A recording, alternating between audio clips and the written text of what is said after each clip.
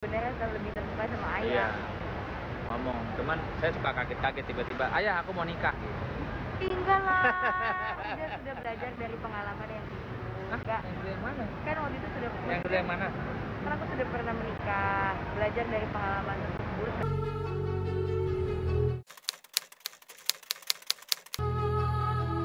Iya, iya bener. Enggak, enggak salah. Ya Salma gimana?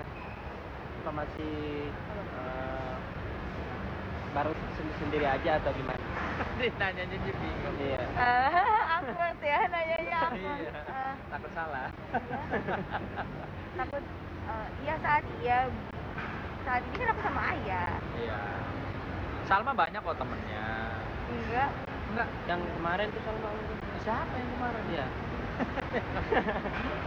Yang mana? Kalau aku sih Ih, prinsipnya eh, kalau ada yang sayang sama Salma gitu kan, masa kita larang? Temennya ya berteman-berteman banyak aja lah, banyak teman kan banyak banyak rezeki. apa? Itu Nggak- itu nggak dari susah. mana? Pepatah dari mana itu? Oh iya, kalau banyak teman banyak rezeki saya. Iya. Kamu lagi misalnya ketinggalan dompet nih di rumah, mau makan telepon teman satu bisa makan siang, satu makan makan malam bisa. Makanya banyak gitu teman dong. Nggak boleh. Tadi sama tapi sampai detik ini masih single ya? berarti Masih ya. Atau seperti apa? Masih seperti yang dulu, anaknya Sunan. Gimana Salma? Apa masih Single ada- or taken or seperti apa? Aduh. Apa ortekan tuh apa artinya? Diambil sama orang. Oh, diambil orang. Saya belum teken apa-apa loh. Jangan ortekan ortekan. Eh, ya saat ini ada kalau teman dekat ada. Kita kami teman baik lah, Iya. baik. Kalau teman ada, teman dekat ada. Banyak temen deketnya. Enggak. Ada Vira, Oh, iya. ada Dira ya kan? Saat ini kami berteman dekat aja sih, yang saling mengetahui satu sama lain. Udah. Dari kalangan artis atau Ya, orang biasa. Kan kita juga orang biasa ya. Kami orang biasa. Kita orang biasa. Pengusaha atau seperti apa? Iya. Orang biasa. Pokoknya orang. Pokoknya Mbak. pokoknya Justru kalau pengusaha usahanya belum maksimal karena belum deketin saya. Iya, benar ya. Susah ya guys deketinnya. Bang Sunan tapi Salma ini yang terbuka nggak sih ke Bang Sunan ketika membicarakan soal asmara dan lain-lain? Ya mungkin lebih terbuka sama ibunya ya. Tapi Enggak, kalau sama dia ayah. ngomong sih. Enggak, Ngomong. enggak. Sebenarnya selalu lebih terbuka sama Iya. ayah. Ngomong. Cuman saya suka kaget-kaget tiba-tiba, ayah aku mau nikah. Gitu.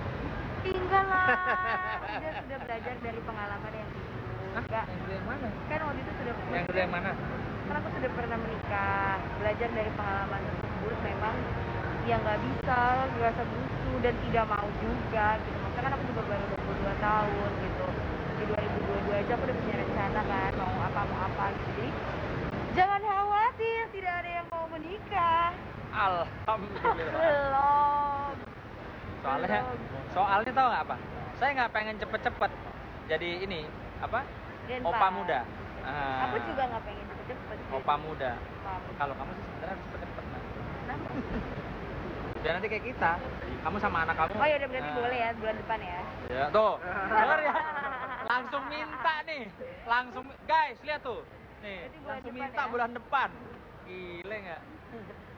Berarti kalau Salma sendiri target mungkin di tahun 2022 Enggak, pokoknya targetnya banyak lah. Maksudnya lebih ke yang in general banyak gitu. Nggak ada target yang spesifik gitu. Mungkin lebih ya lebih baik lagi gitu, lebih dekat lagi sama ayah, lebih sering ke Jakarta lagi. Banyak lah maksudnya. eh, nggak ada yang sesuatu yang kayak spesifik banget gitu. Ya jalanin aja lah. Tunggu ya, nanti eh, mungkin dua bulan lagi rumahnya Salma jadi. Di mana tuh? di mana tuh di Bali atau di Jakarta? Di mana-mana dia Atau senang lah pokoknya. stay di Bali tuh. Bo- Boleh ya. Mana-mana ya. Di mana-mana dia senang. Mana-mana ya. Tapi sejauh ini berarti eh, Salma kan eh, tentu belajar dengan apa yang sudah Salma lewati gitu ya.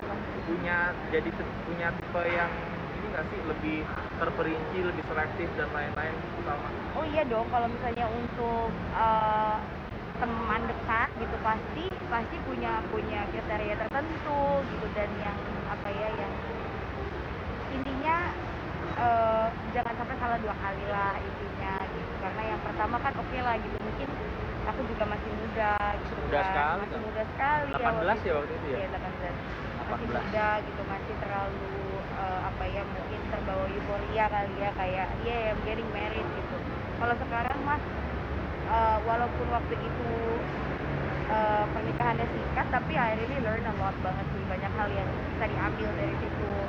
Jadi pasti untuk ke depannya dan untuk sekarang pasti kriterianya lebih ini lagi lebih banyak lagi persyaratannya gitu. Apalagi bapak yang satu ini pasti wah banyak persyaratannya ya Iya dong.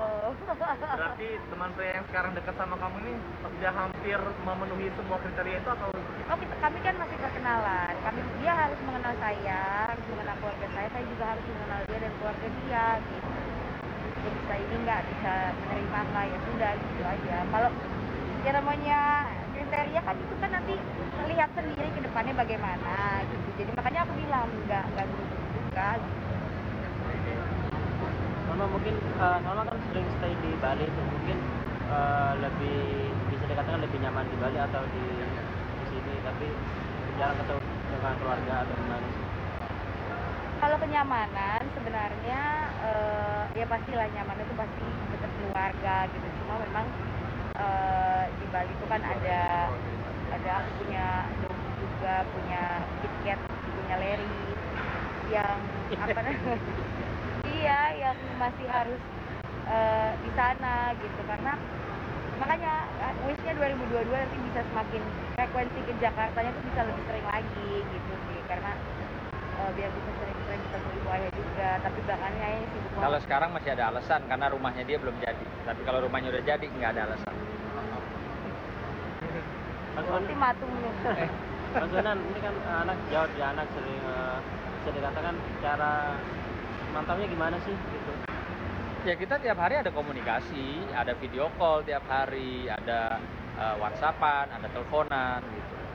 Ya orang anaknya juga udah dewasa, mau gimana ya? Tapi tetap kalau secara usia mungkin kita nganggapnya dewasa karena udah punya KTP.